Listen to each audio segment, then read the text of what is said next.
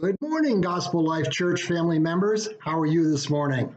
Everything's well with us in Zelienople, and I hope the same is for you.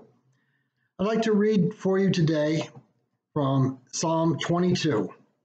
But before I do, I'd like to also read something uh, that was written by our pastor in regard to this particular psalm.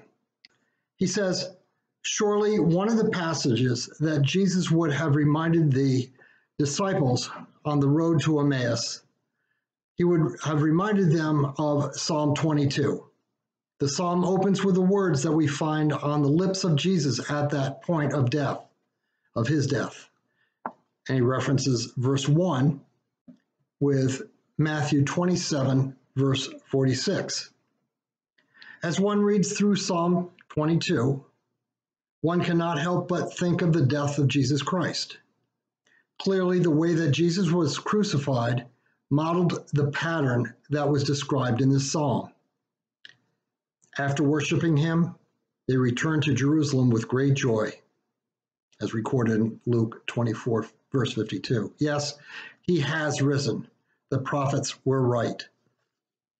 So keep in mind, though this pro- this uh, psalm was written by David, it definitely has messianic overtones. Psalm 22 My God, my God, why have you forsaken me? Why are you so far from saving me from the words of my groaning? Oh my God, I cry day, excuse me.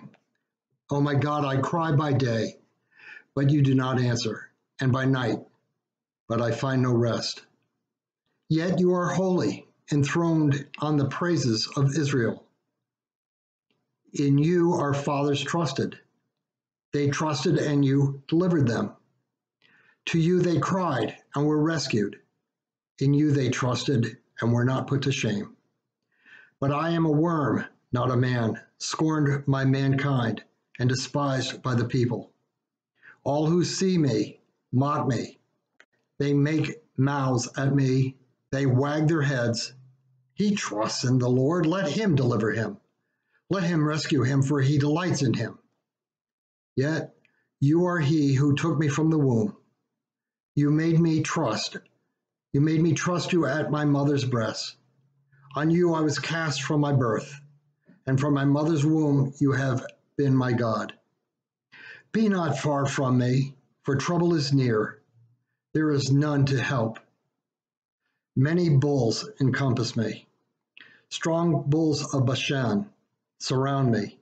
They open wide their mouths at me, like ravening and roaring lion. I am poured out like water. All my bones are out of joint. My heart is like wax. It is melted within my breast. My strength is dried up like a potsherd, and my tongue sticks to my jaws. You lay me in the dust of death. For dogs encompass me, a company of evildoers encircles me. They have pierced my hands and feet. I can count all my bones, they stare and gloat over me.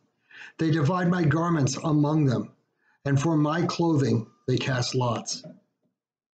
But you, O Lord, do not be far off.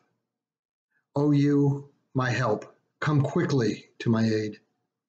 Deliver my soul from the sword, my precious life from the power of the dog. Save me from the mouth of the lion. You have rescued me from the horns of the wild oxen. I will tell of your name to my brothers. In the midst of the congregation, I will praise you. You who fear the Lord, praise him. All you offspring of Jacob, Glorify him and stand in awe of him, all ye offspring of Israel.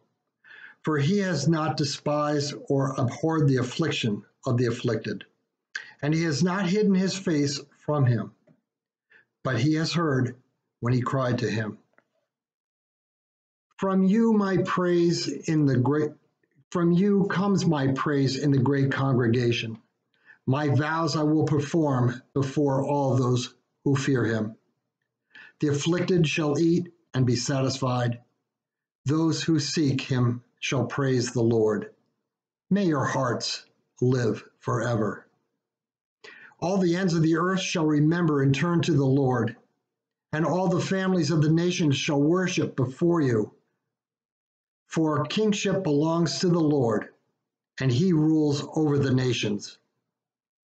All the prosperous of the earth eat and worship. Before him shall bow all who go down to the dust, even the one who could not keep himself alive. Posterity shall serve him. It shall be told of the Lord to the coming generation. They shall come and proclaim his righteousness to a people yet unborn, that he has done it. May the Lord bless the reading of his word, and may we also remember his great sacrifice that was made for us and we commemorate that day today. Peace be with you. Amen.